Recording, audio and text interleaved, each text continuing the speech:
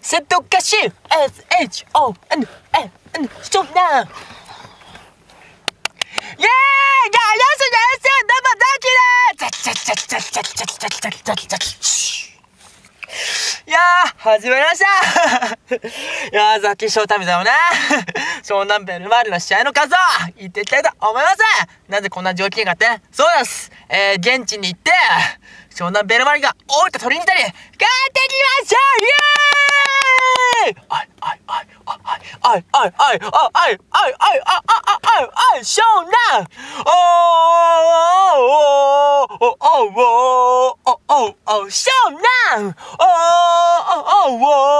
おーおーおーおー湘南おーおーおー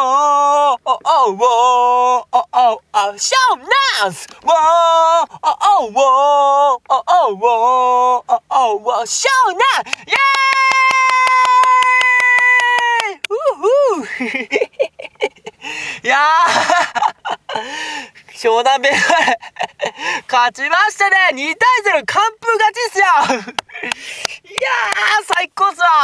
これでですね、なんとですね、J リーグ、あの、リーグ戦では、なんと8試合負けなしで、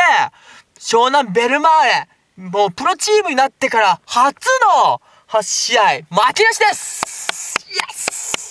いやー、去年の記録をね、たった半年で越してましたよ いやー、ひょっとしたらさ、今の湘南ベルマールの勢いって、あれ、あれですかね、こう、なんか、もう5、6年前の湘南よりも、ひょっとしたら、あの J リーグ初期のベルマール平塚時代よりも、強いって可能性があるぐらい、今のベルマールは結構勢いと状態がいいですね。いやー それほど今の湘南ベルマールかなり、堅実な勝ち方してますね。マジです。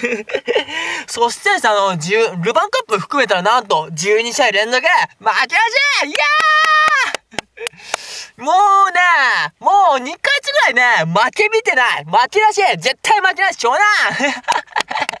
いやー!ただでさえ負けなチームなのに、ここに勝ち星が積み重ねていったら、もう湘南ベルまで止めない人誰もいなくなっちゃうじゃんってぐらいもうマジやばいっすね。パナイっす。いやー、まあ今のね、湘南ベルマーリのね、スコアはね、とんでもなくいい状態なんでね、それを伝えたかったですよ。まあ、ということで、ね、試合内容に戻りまして、まずですね、あの、先制点、名護選手、あのね、あのクロス、あの高く当たクロスをね、結構強風で2メーターぐらい動いたんですよ、落下地点が。落下地点2メーターぐらい動いてたにかかわらず、名護選手見事予測して、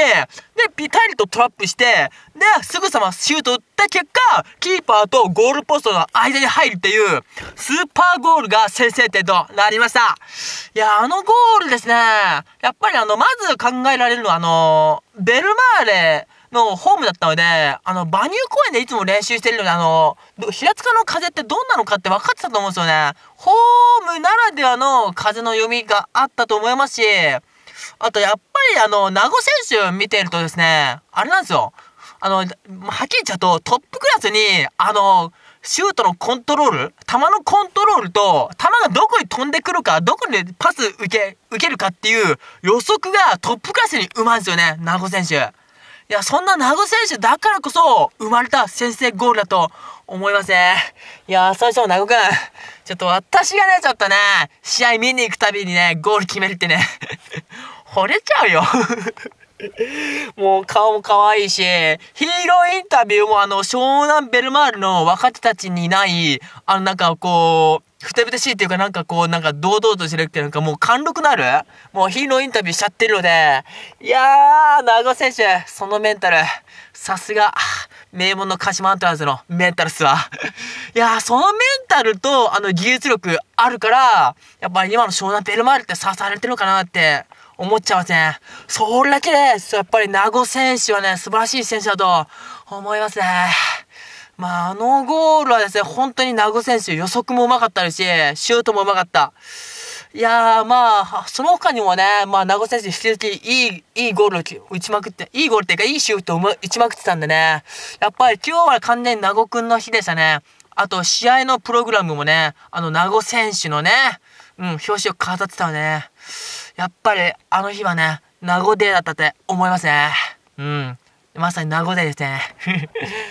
いやー、まあ、そんな先制点で、まあ、1点決めた後、まあ、なかなか決まんない時間が続くわけなんですよ。で、まあ、徐々に徐々に大分トリニータが強度を高めて、まあ、ベルマーレ攻め込むんですよ。まあ、そっからですね、谷君のスーパーセーブが飛び出しますね。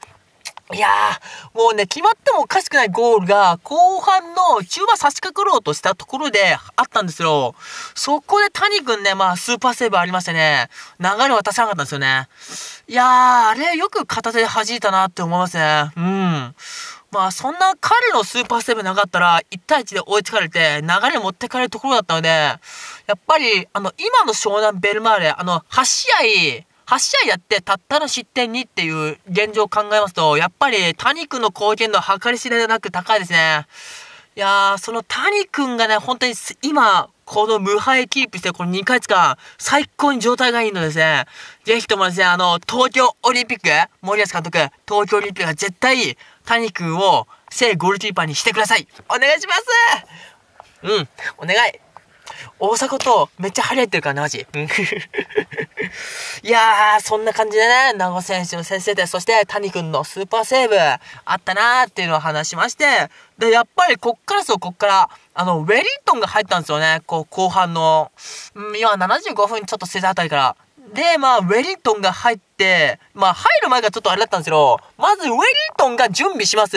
それを見た、あの、観客、あの、場内にいた人たちはどんどんざわざわしだすんですよね。あれウェリントンが、ちょっと、あ、ゆ、あ、練習着脱いだ脱いだ。あ、4分になってるなってる。お、交代するか？交代するかって言って、電光掲示板出た瞬間に、まあ、さ、さらにざわざわが高まりまして、おーってなりまして、で、そこで体育選手とこう、対すると それはもうなんかもう、往年のスター選手みたいな、もう大歓声ですね いやー、それだけウェリントンの期待値が高いって皆さんわかりますね。事実、あの、現地にいて分かったんですけど、あの、ウェリントン選手が、あの、ボールに向かって走るたびに、場内がすごくどよめくんですよね。なんか場内が湧くんですよね。いやー、もうウェリントンってやっぱり、まあ、湘南ベルマーレだってか、あの、英雄である助っ人外国人の一人なので、やっぱりベリントン選手愛されてるなって思いますね。しかもそれだけじゃないんですよ。それだけじゃない。なんと、後半アディショナルタイムに、あの、理不尽とも言えるぐらいの、えげつないヘディングシュート決めて、え、それ決めっていう感じのヘディングシュートを決めて、あの、とどめを刺す、とどめの追加点決めたんですよね、2対0の。いやーあのゴール決めた瞬間、私ですね、もう、悲鳴レベルのね、絶叫ありましたね。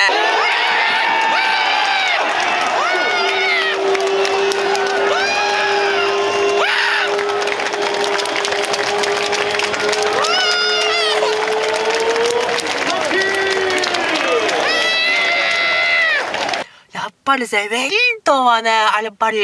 体大きくてですね、もうジャンプ力もヘディングもうまいですし、何よりね、やっぱパワーがありますよね。ディフェンダー陣どうしても止めらんないですよね。しかも、え、その角度からとか、え、その体勢でっていうヘディングボールばっかなので、やっぱり、ウェリントン選手が加入しますと、やっぱ湘南ベルマーレにちょっと課題だった得点力不足、あの得点匂いが全然しないっていうのが、もう一気に吹き飛んで得点の匂いしかしねえっていう状態になってるんですよね。もうそうなんですよ。ウェリントン復帰前、